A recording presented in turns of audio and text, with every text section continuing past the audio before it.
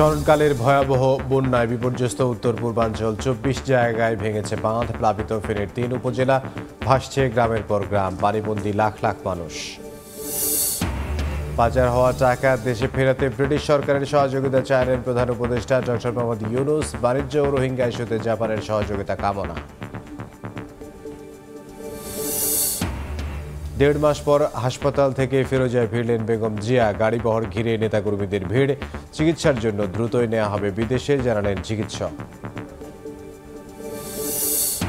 ঝিনাইদহের সদ্য সাবেক ডিসির বিরুদ্ধে নানা অভিযোগ। জড়িত ছিলেন চক্ষু হাসপাতালের নিয়োগ প্রক্রিয়া থেকে সরঞ্জাম কেনার অনিয়মে।